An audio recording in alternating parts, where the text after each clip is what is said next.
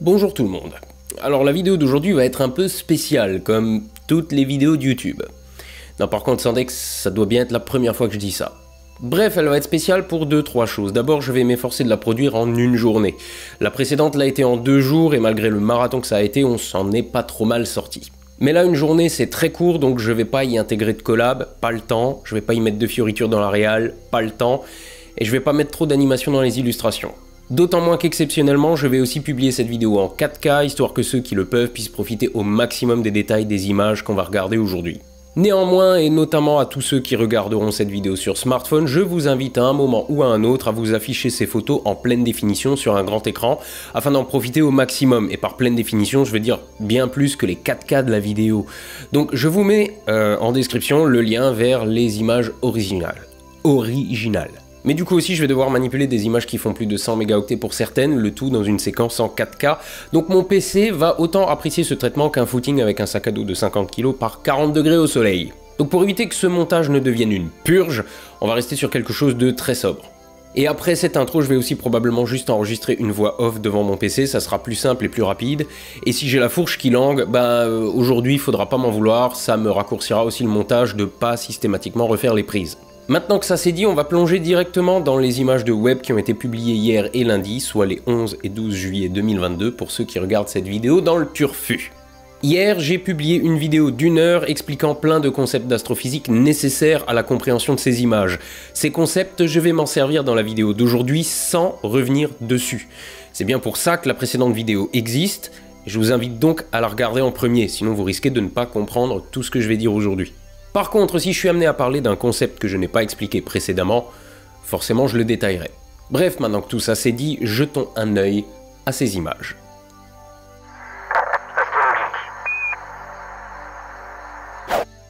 Alors ces images, on va les regarder dans l'ordre où elles ont été publiées et on va donc commencer par le Deep Field. Et pour la comparaison, je vais vous remontrer d'abord la version de Hubble. Alors déjà en regardant cette image, vous constatez qu'elle est la superposition de plusieurs expositions. On voit a priori deux couches vertes, une couche bleue et une couche rouge plus petite qui ne couvre que le centre de l'image. Alors voilà un concept dont j'ai pas parlé dans la dernière vidéo mais qu'on va devoir aborder. Quand vous prenez une photo, vous utilisez un capteur constitué de millions de photocites sensibles à la lumière. En gros, plus ils en reçoivent, plus ils émettent un signal électrique fort. Ce signal est codé en une intensité lumineuse et donne donc ensuite des pixels plus ou moins clairs mais ces photocites sont sensibles à la lumière. Point. Pas à une longueur d'onde spécifique. Donc comment est-ce qu'on fait une photo en couleur? En fait, votre capteur est recouvert d'une matrice de Bayer, c'est-à-dire un ensemble, de filtres rouges, verts et bleus. Comme ça, sur 4 photocites, deux sont sensibles au vert, un au bleu, un au rouge, et on réassemble tout ça en une image couleur. Ça permet de faire une photo couleur instantanément, mais ça a plusieurs défauts. Déjà, il faut 4 photocites pour faire un pixel, ce qui réduit drôlement la définition de l'image, parce qu'en noir et blanc, bah, un photocite égale un pixel. Ensuite, le capteur ne capte que 3 couleurs, les autres sont extrapolées. Pour une photo de chat, c'est suffisant, mais quand on veut analyser une longueur d'onde dans un but scientifique, on ne peut pas l'extrapoler, il faut la mesurer. Donc les capteurs des télescopes spatiaux sont en noir et blanc. Et ouais, les outils d'imagerie les plus sophistiqués au monde sont en noir et blanc, mais ils sont accompagnés d'une roue à filtre, comme on l'a vu hier. Le filtre laisse passer seulement une longueur d'onde ou une plage de longueur d'onde qu'on retrouve donc sur une image en noir et blanc et si on en fait plusieurs, on peut leur attribuer une couleur et les superposer. Et donc si je zoome dans le coin supérieur gauche de l'image, on trouve ça. La couche bleue a été faite avec le filtre F435W, le filtre ultraviolet de Hubble. Les couches vertes sont faites avec les filtres 606 et 814, à savoir le bleu et le jaune. Quant à la couche rouge, elle a été faite avec la superposition de 4 filtres allant de l'orange au proche infrarouge. Alors le nom des filtres est un peu piégeux, par exemple le 435 est centré sur la longueur d'onde 435 nanomètres, mais le 160 n'est pas centré sur 160 nanomètres, mais 1600. Donc le 435 filtre une longueur d'onde plus courte que le 160. Pourquoi? Honnêtement, je sais pas, et la vidéo d'aujourd'hui va déjà être très dense, donc j'ai pas vraiment le temps de me documenter là-dessus maintenant. Donc une bonne âme d'astrophotographe le dira peut-être en commentaire, sinon, eh ben on verra une autre fois. Donc cette image est l'assemblage de 7 filtres plus ou moins en fausse couleur puisqu'on n'est quand même pas très loin du spectre visible. Par contre, ce qui est faux, si je puis dire, dans cette image, et d'ailleurs toutes celles qu'on va voir, c'est que les objets sont bien plus lumineux à l'image que l'œil humain ne, euh, ne pourrait les voir. Et si j'insiste là-dessus, c'est parce que les équipes de web ont eu le bon goût de publier ce qu'ils appellent des compas, c'est-à-dire des images en basse définition accompagnées de la liste des filtres utilisés. Donc on va pouvoir comparer les images et euh, les longueurs d'onde représentées. Ah et pour finir, notez que depuis le début je parle d'images et pas de photos. Techniquement ce sont des photos et c'est pas exclu que j'utilise ce terme parce qu'il est juste. Mais dans l'inconscient collectif, une photo c'est un truc fait en une seule fois, instantanément ou presque, sans travail de post-traitement et sûrement pas en fausse couleur. Seulement bah oui, comme on vient tout juste de le voir, ces, ces images-là subissent un gros traitement. Ça veut pas dire qu'elles sont fausses ou mensongères, juste qu'on veut y voir des trucs qui seraient invisibles sur une photo. Passez-moi l'expression normale. Donc maintenant, il est temps de regarder la première image de web. Je vous ai montré l'image de Hubble en plein écran. Maintenant, je vais vous montrer, euh, je vais vous la montrer, à l'échelle 1. Un pixel de l'image pour un pixel de la vidéo. On voit beaucoup de bruit, les galaxies sont très oranges à cause du redshift, aux limites de Hubble, hein, puisqu'il a utilisé son filtre proche infrarouge, et notez encore rapidement les aigrettes sur les étoiles. Oui, parce que sur cette image, tout ce qui a des aigrettes est une étoile de notre galaxie. Les objets diffus, eux, sont des galaxies lointaines. Bref, les aigrettes sont à 90 degrés parce que pour, tenir son miroir secondaire, Hubble a une araignée constituée de 4 branches à angle droit, comme n'importe quel télescope amateur en fait. Et c'est ça qui provoque cet artefact qui n'a rien de réel, hein. c'est uniquement sur les photos. Si vous voyez une image du ciel sans aigrettes, c'est probablement qu'elle a été faite à travers une lunette. Bref, voici l'image de Hubble à l'échelle 1, et, moi, et maintenant à l'échelle 1, voici celle de Webb. Alors avant toute autre chose, l'image n'est pas orientée tout à fait dans la même direction. Son niveau de grossissement est aussi 50% supérieur à, peu près, hein, et le bruit est largement moindre. Bon maintenant on va dézoomer et la regarder dans sa globalité. On va en parler une bonne fois pour toutes et après on laissera ça de côté pour les autres images. Les aigrettes. Les équipes de web vont publier un max d'images à l'avenir, donc d'ici quelques années, quand il y en aura partout, si vous, voulez, si vous voyez passer une image avec des étoiles à 6 aigrettes, vous saurez qu'elle vient d'un télescope à miroir hexagonaux. Il y en a quelques-uns au sol, mais ça sera un bon indice que l'image vient probablement de web. Regardons ces aigrettes de plus près. Il y en a principalement deux types. D'abord, il y a les grandes bleues là. Celles-là, on les doit aux bords hexagonaux des différentes sections du miroir principal. Mais le support du miroir secondaire sur web, il n'a pas 4 mais 3 bras, et lui aussi fait des aigrettes. Il y en a une là, et les deux autres se mélangent avec celles des bords des hexagones. Web fait donc 8 aigrettes. Alors pourquoi des aigrettes sur les étoiles et pas ailleurs? Parce que les aigrettes sont provoquées par des objets très lumineux et ponctuels. En vrai, tous les objets en font, mais les galaxies sont si ténues et si diffuses qu'en comparaison, bah en fait on les voit pas. Mais en gros, sur une astrophoto faite au télescope, quel que soit le nombre d'aigrettes, on les retrouve sur les objets les plus, plus, brillants que le reste, donc les plus grosses étoiles, et sur les objets ponctuels, donc les étoiles. Donc sur cette image, et sur les autres aussi d'ailleurs, ça nous permet de les identifier et donc de faire la différence entre les objets proches situés dans notre galaxie et les autres galaxies. Donc avant de lire le reste de l'image, on va jeter un œil au filtre. Donc voici le compas qui a été publié. Contrairement aux autres, celui-ci ne comprend pas d'échelle. Sur les autres, on va le voir, il y a des indications de, distance, de taille. Mais là, on voit des objets tellement différents et tellement loin les uns des autres qu'indiquer une distance ne fait pas sens. Bref, euh, cette image a été réalisée avec NIRCam. NIRCam, ça veut simplement dire Near Infrared Camera, donc on est dans les proches infrarouges. Six filtres ont été utilisés, deux pour le canal bleu, deux pour créer le canal vert, un pour le canal orange et un pour le canal rouge. Le tout est superposé et donne l'image globale.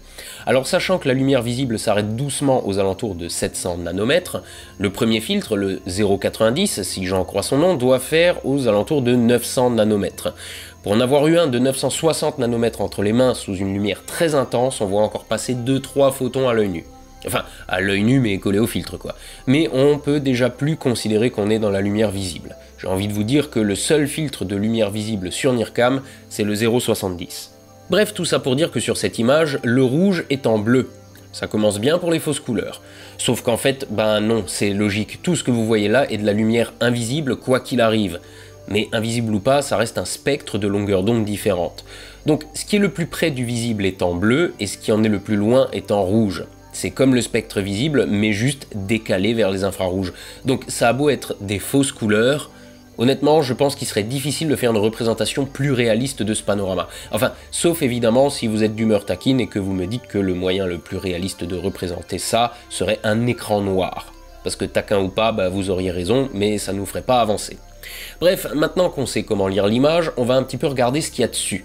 Déjà, si elle s'appelle SMAX 0723, c'est parce qu'en fait c'est le nom de l'objet principal qu'on y observe. SMAX 0723, c'est l'amas de galaxies au centre de l'image. En fait, c'est le gros truc flou. C'est une galaxie elliptique qui est le fruit de la collision de plusieurs galaxies. D'ailleurs, vous pouvez noter que cette galaxie s'étend vachement en un nuage diffus qui va assez loin sur l'image. Ça, ce sont des étoiles qui ont été expulsées lors de la fusion des galaxies et qui se promènent maintenant plus loin. Cet amas a un redshift de 0,39, ce qui le place à environ 4,6 milliards d'années-lumière. Ah oui, je vais en profiter pour corriger un détail de la vidéo d'hier, le redshift est pas plus grand que 1, il est plus grand que 0. C'est un détail, mais bon, voilà. Et donc, sur l'image de Hubble, la longueur d'onde la plus lointaine qu'on avait, codée en rouge, c'était 1600 nanomètres, en infrarouge proche. Là, le filtre de 1500 nanomètres est encore seulement codé en bleu. L'image de Hubble a demandé deux semaines d'exposition, celle-là a demandé un total de 12h30. Ah, et elle a été faite le 7 juin dernier, si jamais vous vous posez la question. La NASA communique vachement sur le fait que dans le ciel, ce panorama a la même taille qu'un grain de sable tenu à bout de bras, ce qui rejoint pas mal l'image que je vous avais faite de la balle de tennis à 100 mètres. Dans tous les cas, c'est très petit et il faut imaginer que c'est partout pareil, quelle que soit la direction dans laquelle on regarde. Et ça, ça fout le vertige. Bref, cette grosse galaxie elliptique et les deux trois trucs qui semblent encore lui tourner autour ont une masse gigantesque au point de suffisamment courber l'espace-temps pour provoquer un phénomène de l'antigravitationnel. On les avait déjà vus sur l'image de Hubble, mais là on les voit avec une résolution jamais égalée. Elles sont oranges, donc bien plus redshiftées que l'amas au premier plan, et les petits points qu'on voit dedans, a priori, ce sont des amas d'étoiles. Alors prenez un moment pour songer à ça. Moi, avec mon Iviscope, je suis trop fier parce que je vois M13 comme ça. Et Webb, il fait des photos d'amas similaires dans des galaxies distantes de milliards d'années-lumière, derrière une autre galaxie. Regardez celle-là, par exemple, au bas de l'image. On y voit des nébuleuses, ou bien à droite, là, on a cette belle galaxie spirale, qui n'a pas l'air très loin, elle, si j'en juste par son redshift très léger. Elle m'apparaît même un peu plus bleue que SMAX 0723, donc si ça se trouve, elle est même devant. Euh, ce qui est à côté, là, avec la forme bizarre, par contre, euh, ce truc-là, c'est aussi une galaxie, hein, et elle est beaucoup, beaucoup plus lointaine. Mais elle est encore orange pâle à côté des autres galaxies franchement rouges, et donc franchement plus lointaines. Et c'est là qu'on en vient à un point intéressant de cette image, elle contient la galaxie la plus distante jamais imagée en infrarouge. Bon allez, je vais essayer de négocier un zoom, mon PC va me détester, mais histoire de bien la situer, donc la voici. Ce panorama a aussi été réalisé avec NearSpec qui a analysé 48 galaxies. Voici un exemple des redshifts observés et notre petite tache rouge là est l'objet le plus lointain.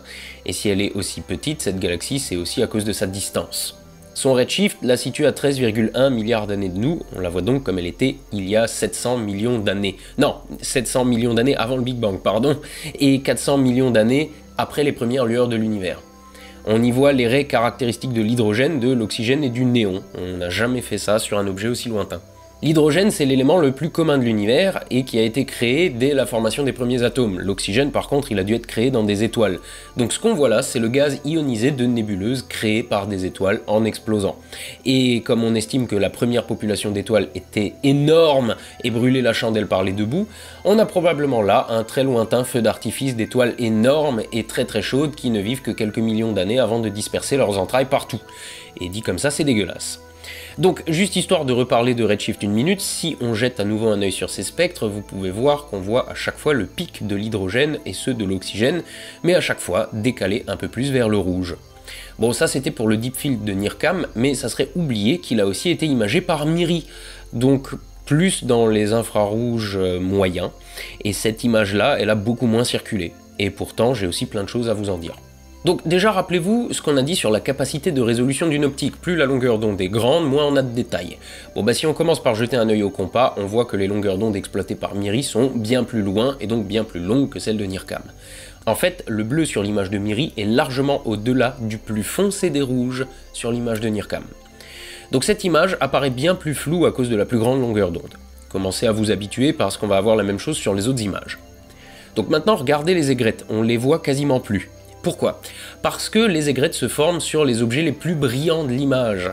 Or, les étoiles ne brillent quasiment pas à ces très grandes longueurs d'onde, donc on les voit pas tant que ça. Maintenant, pour comprendre cette image, vous allez aussi devoir vous rappeler ce qu'on a dit avec PH sur les poussières. Elles captent les UV et réémettent des infrarouges. Donc plus d'infrarouges, c'est plus de poussière. Et sur cette image-là, bah regardez, les galaxies bleues rayonnent moins dans les infrarouges. Donc on peut en déduire qu'elles sont vieilles. Tous leurs nuages de gaz et de poussière se sont effondrés en étoiles, étoiles qui ont eu le temps de vieillir et donc d'émettre moins d'ultraviolets, et donc de moins éclairer les possibles poussières résiduelles. Les rouges, en revanche, elles en contiennent beaucoup des poussières ainsi que des étoiles jeunes pour les éclairer de leurs ultraviolets. Et donc, par exemple, les galaxies qu'on regardait tout à l'heure, celles qu'on voit grâce à l'effet de l'antigravitationnel, bah ces galaxies-là, elles sont vieilles et dépourvues de poussière, et ça on peut le dire par leur couleur. Mais à l'image, vous voyez aussi des galaxies vertes, et celles-là, elles brillent dans des longueurs d'onde qui indiquent la présence de grosses molécules. Ces galaxies-là sont particulièrement riches en hydrocarbures et autres molécules complexes. Plutôt cool, non? Bon allez, on va enchaîner sur l'image suivante, qui ce coup-ci n'a rien d'une photo, c'est l'analyse du spectre de transmission de WASP-96b. Il a été réalisé par l'instrument NIRIS, qui est un spectrographe en proche infrarouge, et un spectre de, transmission, ça consiste en l'observation de la lumière de l'étoile qui est filtrée au travers de l'atmosphère de la planète, quand celle-ci passe devant. Alors avant toute chose, on va regarder les unités du graphe. En abscisse, on a la longueur d'onde qui va de 600 à 2800 nanomètres, donc du rouge visible aux infrarouges proches. En ordonnée, on a le taux d'absorption de l'atmosphère en partie par million, qui n'est jamais qu'une unité plus précise que le pourcentage, mais c'est pareil. Et en l'occurrence, là, le graphe va de 1,36 à 1,48%. Chaque point blanc est une mesure, et chaque barre verticale est la marge d'erreur de la mesure. Quant à la ligne bleue, c'est le modèle le plus probable basé sur les mesures et nos connaissances sur ce phénomène. Ceci est le spectre infrarouge le plus complet jamais réalisé parce que c'est le premier à faire des mesures au-delà de 1600 nanomètres et aussi le premier à aller d'un seul tenant de 600 à 2800 nanomètres. Ah, et du coup il a été fait le 21 juin. Donc cette courbe, qu'est-ce qu'elle nous dit? Alors en fonction de la forme d'une courbe comme ça, on peut identifier les gaz en présence, chacun faisant des pics qui lui sont propres. De même, plus les pics sont hauts, plus la température des gaz est élevée. Bon alors maintenant qu'on sait ça, je vous avouerai que je sais pas lire ce genre de courbe au-delà de cette, de cette analyse très superficielle. Donc je vais me contenter de vous répéter ce que l'équipe du spectrographe a dit, à savoir que les pics qu'on voit indiquent la présence d'eau. Ils sont moins hauts que prévu, ce qui semble vouloir dire qu'il y a quand même des nuages, contrairement à ce qu'on pensait. De même, la légère pente à gauche du spectre, dans les longueurs d'onde les plus courtes, semble indiquer la présence de brume. Et pour finir, la hauteur globale des pics indique une température de de 725 degrés. Alors c'est à peu près tout ce que je peux vous dire sur ce graphe, mais on va quand même encore jeter un rapide coup d'œil à celui-là, qui est aussi un peu passé inaperçu hier lors de la publication des images. Ça, c'est la courbe qui représente la luminosité de l'étoile pendant les mesures. La courbe commence 2h30 avant le transit et finit 1h30 après, et le transit lui-même fait à peu près 2h30, soit un total de presque 6h30, et 280 mesures de luminosité toutes les 1,4 minutes. La planète, en passant devant son étoile, lui a fait perdre 1,5% de luminosité. C'est pas énorme, mais ça va parce que NIRIS a été capable de mesurer des différences de 0,02%. On connaissait déjà la taille et la masse de WASP-96b, mais c'est pas exclu que ces mesures permettent d'affiner ce qu'on sait. Bon, sur ce, on enchaîne avec Caldwell 74. Donc ça, c'est l'image de Hubble. J'ai probablement mal cherché, mais même sur le site de la NASA, j'ai pas trouvé de meilleure définition. Et sans plus attendre, voici celle de Webb, ou du moins la première. Donc là encore, on est sur une image de NIRCAM, elle a été faite le 3 juin dernier.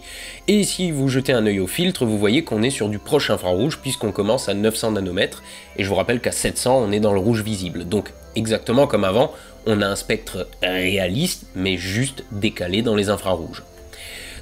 Ce coup-ci, sur le compas, vous avez le rapport d'échelle en bas à droite. Donc on a le bulbe central qui fait une demi-année-lumière et la nébuleuse complète qui en mesure à peu près une. L'étoile centrale, qui est encore en vie si je puis dire, est bien visible mais la naine blanche est un peu cachée, elle est là en bas à gauche, cachée derrière l'aigrette. Et oui, les aigrettes c'est joli mais ça sert à rien et ça peut même cacher des trucs. Si les astronomes avaient le choix, ils s'en passeraient bien, mais envoyer une lunette de 6,50 m dans l'espace c'est pas jouable. Donc la naine blanche n'émet plus grand chose, sa frangine par contre émet toujours des vents stellaires et participe donc à sculpter la forme de la nébuleuse. D'ailleurs, ces deux étoiles sont en orbite, donc elles tournent l'une autour de l'autre. Je connais pas leur masse respective, mais une naine blanche c'est très dense, donc très lourd. Et c'est pas parce qu'elle est plus grosse que l'étoile encore en vie est forcément la plus lourde des deux. Donc qui tourne le plus autour de qui, là tout de suite je pourrais pas vous le dire, mais ce que je peux vous dire en revanche, c'est qu'elle tourne sur un plan toujours le même, et la masse de la naine blanche participe à dévier les gaz et autres particules émises par sa frangine.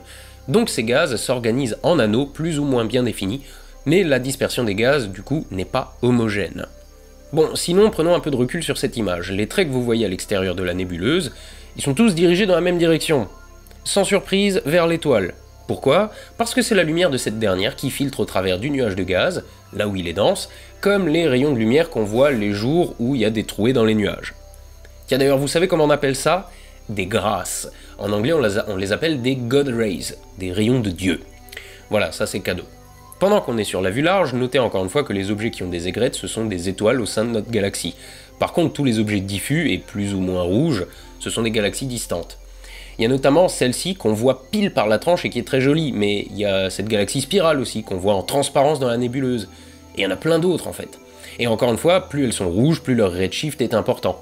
En fait, cette image, c'est un deep field, mais avec une nébuleuse au milieu.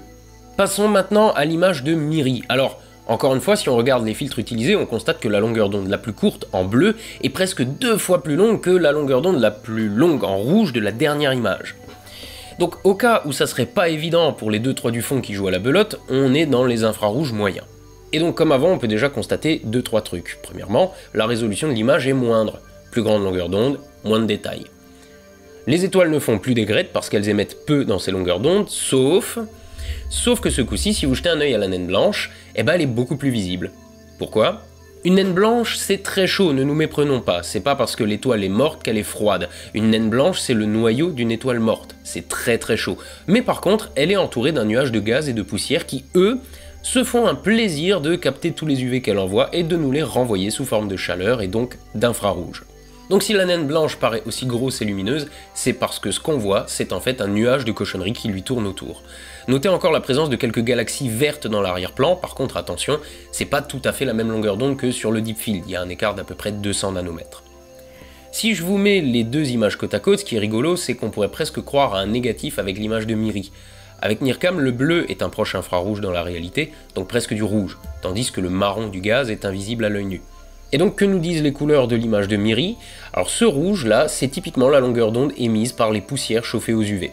On constate aussi que les raies de lumière qui percent à travers la nébuleuse sont moins visibles dans ces longueurs d'onde. Mais surtout, les infrarouges donnent une plus grande transparence à la structure, et donc on va parler un peu de la fin de vie des étoiles. J'en ai déjà parlé ailleurs, hein, je me demande si c'est pas dans la vidéo sur la classification des étoiles. Honnêtement, je sais plus. Quoi qu'il en soit, en fin de vie, une étoile de la séquence principale gonfle plusieurs fois, et à chaque phase de géante rouge, et globalement à chaque phase instable de son existence, elle est susceptible de cracher une partie de ses couches externes. Et donc dans la structure de la nébuleuse, on peut voir que tous les gaz ne sont pas partis ni en même temps, ni à la même vitesse. Mais surtout sur l'image de Miri, on voit mieux l'anneau ici et ici, qui divise la nébuleuse en deux bulbes, ici et ici. Elle a un peu la forme de deux boules molles collées l'une à l'autre, d'où le nom d'explosion en 8. C'est un 8 en 3D, si vous voulez. D'ailleurs, vous verrez parfois passer des traductions approximatives qui la nomment la nébuleuse aux 8 explosions. Mais donc bref, si vous arrivez à voir ces deux bulbes l'un sur l'autre, bah, non seulement vous savez qu'ils matérialisent la rotation des étoiles l'une autour de l'autre, avec les gaz orientés par l'orbite des étoiles comme je vous le disais tout à l'heure, mais surtout, une fois que vous les avez vus sur l'image de Miri, bah, vous pouvez plus les rater sur l'image NIRCAM. Ah oui, au fait, juste pour être clair sur un truc, hein, la nébuleuse est pas ouverte sur le côté où elle nous fait face. Hein. On voit à l'intérieur par transparence. Ce côté de l'anneau de gaz, c'est celui qui nous fait face. Et ce côté est de l'autre côté de la nébuleuse.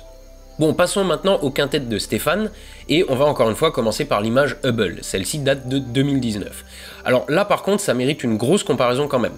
Commençons par noter sur l'image de Hubble la présence de nuages de poussière et de gaz en lumière visible. Par exemple, on les voit bien dans NGC 7320, c'est les taches marron. D'ailleurs, notez aussi la présence des nébuleuses qui rayonnent dans l'hydrogène. On voit bien aussi ces nuages de gaz dans NGC 7319 et 18 A et B.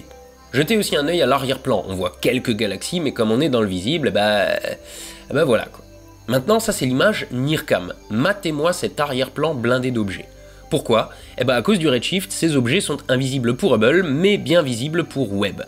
Là encore, il nous fait un champ profond avec un truc devant. Mais en parlant de truc devant, si vous regardez dans les galaxies, eh ben, les bandes de poussière ont disparu. Avant d'aller plus loin, je précise aussi juste que l'image NIRCAM a été faite le 11 juin et l'image MIRI qu'on va voir juste après les 11 et 12. Voilà. Je peux encore vous dire que l'image complète qu'on va voir après est un assemblage de 1000 images individuelles sur plus de 150 mégapixels. Ouais, parce que cette première image est pas complète. Enfin, si, elle se suffit à elle-même, mais... Enfin bon, bref, attendez, vous allez en voir plus. Bref, on n'a là que NIRCAM, et vous pouvez noter qu'on est plutôt dans les tons bleus. Vous allez aussi voir après pourquoi, mais je voulais juste vous le faire remarquer maintenant. Et on va, et on va en profiter donc pour mater NGC 7320 de plus près. Alors il a fallu que j'aille vérifier parce que je me suis dit que c'était pas possible, mais si si, chaque point qu'on voit là c'est une étoile résolue individuellement. Et les points rouges ce sont des géantes en fin de vie. On voyait déjà des points individualisés sur l'image de Hubble, mais euh, de loin pas avec autant de précision, sachant que cette galaxie est à 40 millions d'années-lumière. Les autres derrière sont à 290 millions d'années-lumière. Et évidemment, on a aussi des, des galaxies lointaines qui transparaissent chose qu'on n'avait pas avec Hubble. Mais bon, là, on a l'image NIRCAM seule. Maintenant, regardez à quoi ressemble l'image de MIRI, uniquement en infrarouge moyen. Cette image est ouf, elle me retourne le cerveau. Là, vous avez quasiment uniquement la poussière des galaxies, comme si on leur avait fait passer une radio pour voir l'intérieur. Enfin, quand je dis une radio, on est bien d'accord que c'est une façon de parler, hein. comme quand vous faites une radiographie pour voir si vous avez un os de pété. Mais cette image n'est pas en ondes radio, ni en rayons X qui sont utilisés pour les radiographies. Hein. C'est sûrement évident, mais je préfère le préciser. Bref, ça va sans dire, longueur d'onde plus grande, donc résolution de l'image moindre. Hein. Mais les nuages de gaz qu'on voyait sur l'image de Hubble, là on les retrouve, mais puissance 100. Donc histoire de vous aider à lire l'image, plus ça tire vers le rouge, plus on est dans une zone de formation d'étoiles. Les taches rouges vives par contre, hein, c'est des galaxies en arrière-plan. Plus on tire vers le bleu, plus on est dans une zone riche en hydrocarbures, donc de grosses molécules. Et c'est vrai aussi pour les taches de même couleur qui sont des galaxies en arrière-plan. Quant au point bleu dans NGC 7320, ce sont des étoiles dépourvues de poussière dans leurs environs. Notez encore la différence de couleur entre les poussières et l'onde de choc propagée par NGC 7318b. Bon, mais j'ai gardé le meilleur pour la fin, enfin en tout cas pour cette image en particulier. Rappelez-vous tout à l'heure, avec Miri, les étoiles ne faisaient pas des grettes, ou très peu, parce que dans l'infrarouge moyen, elles ne brillent pas très fort, et sur l'image NIRCAM, on n'avait pas d'étoiles brillantes devant le centre de NGC 7319, la galaxie qui est tout en haut. Mais alors, dans les infrarouges moyens, c'est quoi cette étoile qui fait des aigrettes de taré en plein dans la galaxie là? Eh ben ça les gens, c'est un quasar. NGC 7319 est une galaxie active, c'est-à-dire que le trou noir supermassif qu'elle abrite est en train d'émettre sa race de lumière, mais dans les infrarouges lointains. Donc juste pour vous situer le bestiau, c'est un trou noir qui fait 24 millions de masses solaires et qui brille 40 millions de fois plus que le Soleil, donc prévoyez l'écran total. On va en reparler, mais maintenant il faut que je vous montre l'assemblage des images NIRCAM et MIRI qui donnent ceci. Tout à l'heure ça tirait sur le bleu, mais là en ajoutant les grandes longueurs d'onde en rouge, l'image paraît plus équilibrée. Et la grande zone dorée, là, bah, c'est l'onde de choc de 73-18B. Par contre, si je zoome dans 7320, on peut nettement voir la différence de résolution entre les deux instruments. Les étoiles sont très nettes, mais les nuages de gaz en infrarouge sont, bah, je vais pas dire très flous, mais plus flous. Bon, mais reparlons de ce quasar, parce que les équipes de Webb ont eu le bon goût d'utiliser le spectro de Miri pour regarder ce qui se passe dans ce coin-là. Alors, quand de la matière tombe dans un trou noir aussi gros, elle est tellement chauffée qu'elle émet plein de rayonnements en tout genre, et une partie de la matière est même expulsée à vitesse proche de celle de la lumière, de part et d'autre du disque d'accrétion. C'est ce qu'on appelle les jets d'un quasar. Pourquoi je vous dis ça? Parce que le spectro de Miri a analysé à la fois les environs directs du trou noir, matérialisés par le gros rond blanc, mais aussi l'un des jets du quasar matérialisé par le rond un peu plus petit. Un quasar, ça malmène méchamment la matière qui se trouve à proximité, notamment en l'ionisant à cause de tous les rayonnements qui lui balancent dans la gueule. Mais un gaz ionisé, c'est cool, parce que ça brille, et ça nous file plein d'infos. Et donc là, on est en mesure de dire que le trou noir est entouré d'un disque d'accrétion contenant des silicates, c'est-à-dire à peu près la même chose que du sable de plage, mais beaucoup plus fin. On y trouve aussi de l'hydrogène moléculaire, c'est-à-dire de l'hydrogène qui a encore son électron, donc pas ionisé, et associé en deux atomes, donc probablement beaucoup plus loin dans le disque. Quant aux jets, ils contiennent du fer, de l'argon, du néon, du soufre et de l'oxygène. Donc des étoiles ont dû passer à la casserole. Et si on regarde ça avec NIRCAM, ce coup-ci, on a en bleu et jaune l'hydrogène atomique, donc des atomes tout seuls, donc très chaud. En cyan, on a les ions de fer, et tout ce petit monde matérialise le jet du quasar. Mais en rouge, on a l'hydrogène moléculaire, le dihydrogène en fait, deux atomes d'hydrogène collés ensemble. Et pour qu'il puisse être collé, il faut qu'il soit à suffisamment basse température et dans une zone suffisamment dense pour trouver d'autres atomes auxquels se coller. Et donc l'hydrogène moléculaire nous montre à la fois le jet du quasar, mais aussi son garde-manger, les régions les plus lointaines de son disque d'accrétion, quoi. Mais c'est pas fini, parce que comme la matière qui se trouve dans les environs du quasar se déplace très vite, eh ben on peut mesurer son redshift. Plus elle s'éloigne, plus elle tire vers le rouge, et plus elle s'approche, plus elle tire vers le bleu. Donc, sachant que le néon, l'argon et l'hydrogène sont ionisés et émettent la race de lumière, on regarde dans cette zone euh, au spectro, on mesure le décalage des raies par rapport à ce qu'elles devraient être, et on peut en déduire la vitesse, et là on peut donc voir une partie de la matière qui vient vers nous à 200 km s et une autre qui s'éloigne à la même vitesse. Bon par contre, je suis pas sûr de ce qu'on voit là, je vais pas vous dire que c'est le disque d'accrétion ou léger du quasar, mais c'est l'un ou l'autre, et même probablement un peu des deux. Bon, il est temps de passer au dernier objet, la falaise cosmique dans la nébuleuse de la Carène. Alors, je vous avais dit que je savais pas si on allait voir la Carène en entier ou juste un détail, et donc là, on a juste eu un détail et un tout petit détail. Alors dans la précédente vidéo, je vous ai présenté la carène comme ça. Eh ben la falaise cosmique, elle est même pas dans cette image.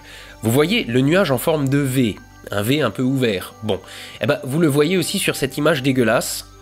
Bon, eh ben en haut, là, on a un nuage rond eh ben, la falaise cosmique, elle est là-dedans. Quoi qu'il en soit, on va à nouveau commencer par l'image de Hubble. Donc là, comme on est dans le visible, l'image est très opaque. Vous pouvez voir que pas beaucoup d'étoiles ne transparaissent. Avec l'image NIRCAM, par contre, il y en a beaucoup plus parce qu'on est en infrarouge et qu'en infrarouge, la lumière traverse mieux la matière. Encore une fois, si on jette un œil au compas, on voit que le premier filtre utilisé fait 900 nanomètres. Donc, comme avant, on est sur une représentation naturelle des couleurs, mais juste décalée dans les infrarouges. Cette image est la plus définie de toutes et aussi le fichier le plus lourd. Ça, c'est un détail à 100% de grossissement. Donc, la carène, NGC 3324, dans NGC 3324, le petit zigouigoui qui dépasse est le même là sur l'image de web. Et là, à 100% de grossissement. Comme ça, vous voyez où on est. Bon, maintenant, rappelez-vous de ce que Pierre nous a dit, les vents stellaires érodent les nébuleuses et repoussent les gaz. Bon, eh ben, NGC 3324 est une gigantesque cavité creusée par des étoiles jeunes et dont les vents stellaires sont intenses, et la falaise cosmique, c'est le bord de cette cavité. Vous avez des zones plus denses dans le gaz, comme le fameux zigouigoui, là, qu'on va appeler un pilier pour faire un peu plus sérieux, et donc comme il est plus dense, il résiste mieux aux vents stellaires. A contrario, là où il y a des trous, eh ben, ce sont des zones moins denses ou bien des zones où une étoile se trouve juste à côté et donc les vents stellaires sont plus forts et font un trou. Le voile bleu un peu vaporeux sur le haut de l'image ainsi que le voile blanc ici, ce sont des gaz chauds et ionisés qui s'échappent de la nébuleuse sous la pression des rayonnements ultraviolets. Et alors j'ai trouvé une info très cool.